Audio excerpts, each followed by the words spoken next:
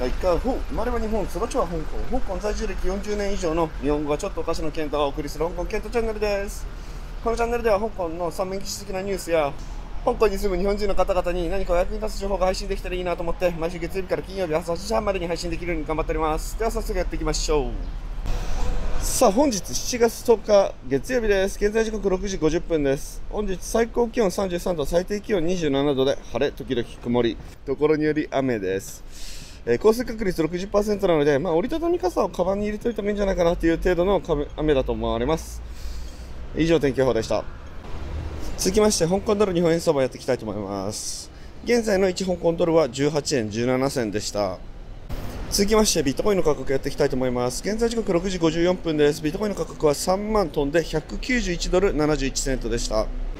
さあ今日もゆるっとニュースやっていきたいと思います。本日のニュースは、えー香港でブックフェアが7月の19日より25日まで開催されます。という件と、えーはま寿司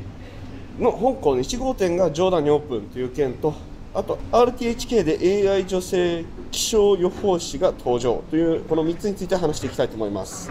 まずはですね香港ブックフェアが7月19日水曜日より開催されるようです。開催される場所は香港のワンチャイの香港コンベンションセンコンベンションエキシビションセンターで開催されます。入場料は大人が30ドル子供が10ドルです。まあ、あんまり私自身はねそこまで興味がないんですけど、まあ、あの結構これ行かれる方多いと思うのでお伝えさせていただきました。さあ続きましてはま寿司の香港1号店がジョーダンにオープン。先月29日木曜日から回転寿司はま寿司の香港1号店がジョーダンにオープンしました、えー、すき家の系列ですね。で、えーこの場所がですね、えージョーダン駅からですね歩いて1分とねめちゃくちゃ近いところなのでぜひ一度行ってみようかなと思います。営業時間は10時半から22時30分までです。昔この辺りにねスシローの1号店があったので戦略的に似たような感じなのかなと思いました、えー概要欄に店舗情報を載せておきます。いやー香港にねまた寿司屋が来るっていうねどれだけ回転寿司屋が進出してくるのかねすげえ楽しみなんですけど、えーついにですね、えー元気寿司、えースシローに続いてはま寿司が出店してきたということでね。いやこれはぜひ一度行ってみないといけないなと思いました。さあ続きまして RTHK 香港のねテレビ局ですね。で AI 女性天気予報士を、えー採用したみたいです。香港のテレビ局 RTHK で、えー AI の女性天気予報士のねえっ、と AI ですね。アイダース。による天気予報を月曜日から金曜日毎晩行うということを発表しました。ネット上ではですね本物の人間みたいだとか自然とか失業者が増えるなどの意見が目立っているみたいです、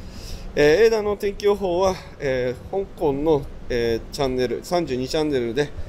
午後7時と、えー31チャンネルの午後7時半あと午後8時半に、えーなんかやってるみたいです。えー RTHK のね Facebook のホームページに動画が掲載されているのでもしよろしければ概要欄から見に行ってみてください。ということで、えー本日ニュース以上です。このチャンネルではこういった香港の三面記事的なニュースや香港に住む日本人の方々に何かお役に立つ情報が配信できたらいいなと思って毎週月曜日から金曜日朝8時半までに配信できるように頑張っております。もしチャンネル登録まだの方いらっしゃいましたらぜひチャンネル登録といいね評価で応援いただけるとすごく嬉しいです。では本日ここまでとさせていただきたいと思います最後までご視聴ありがとうございました。それでは皆さん良い一日をお過ごしください。ジョイキンまたねバイバーイ。